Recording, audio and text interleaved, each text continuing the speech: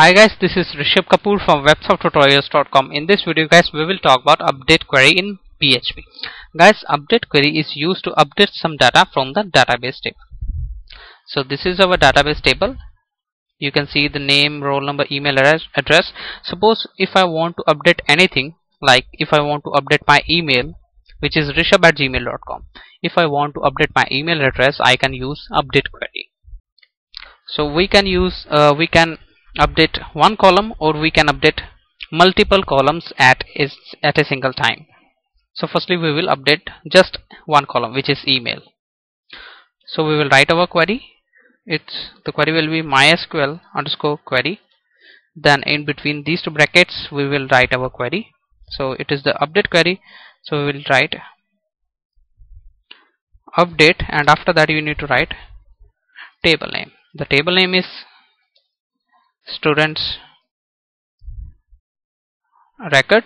Update students record. Then we will use set statement here. Set. Then after that you need to write the name of the column name.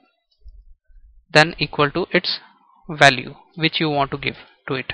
So the column name is email equal to I want to set its value to means I want to make my new email address which will be rishabh1 at gmail.com so I'll write rishabh1 at gmail.com now guys this is our query but we need to write where clause as well because if we will if you will not write where clause it will update all email addresses. Means it will make all the email addresses to rishabh1 at gmail.com so it is mandatory that you need to write where clause so you will write where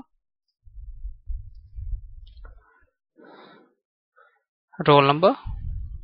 Means I will use this uh, roll number uh, for the condition where roll number equal to 101 so update students record set email equal to rishabh1 at gmail.com means set email address to rishabh1 at gmail.com where the roll number is 101 now we will go to browser and refresh it. Now we need to go uh, come to a database again. I will click on browse button. You can see rishabh1 at gmail.com now guys what I will do I will use if statement here. Means it will tell us that the, that the records are updated. So we will use if statement outside the query. If means if the query is working we will write something. So I'll write record updated now again I will change this email address to rishabh12 now the email address is rishabh1 now we will change it to rishabh12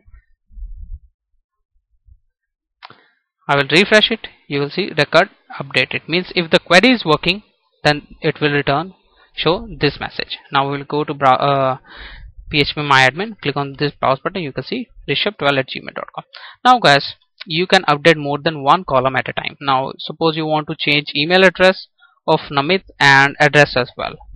What you need to do? Firstly we need to change the roll number in the condition which is Namit's roll number is 102 so I will write 102 here. Now I will write the query from the start. Means I will write the query from the beginning. Update students record. Set email equal to I will write nm at gmail.com comma the name of the second column which you want to update. Suppose I want to update update his address. So I'll write address name of the column address equal to write Canada. You can use uh, write uh, update more columns as well. You can you just need to use comma and then column name then the value which you want to give to it. So after that we will write where? Uh, roll number equal to the Namit's roll number is 102 102 now we will go to browser and refresh it. Record updated.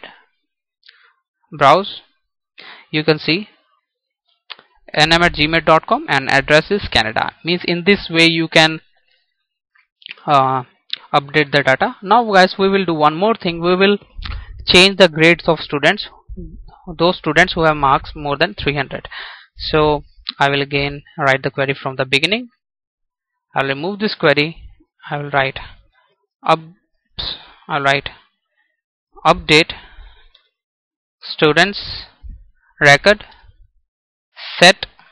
The column name is grade. We will change the grade according to the marks. Set grade equal to a plus plus where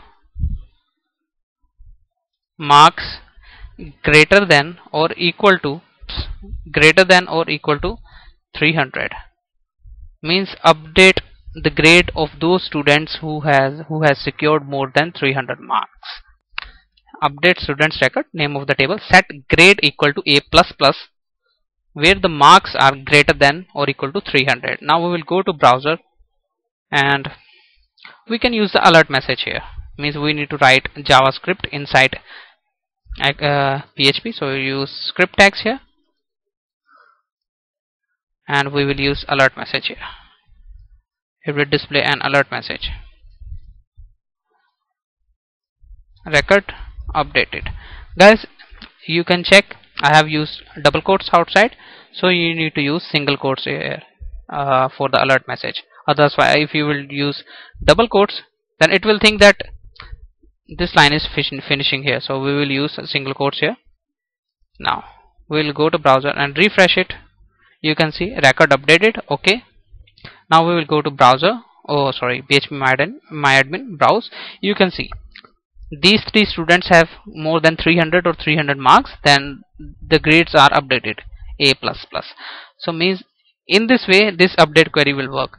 Guys we will mm, uh, do this uh, update query practically in the project in upcoming videos. Means we will use I will tell you that how can you use update query in your projects. So guys if you still have any question about the update query you can go to my discussion forum or you can leave a comment below.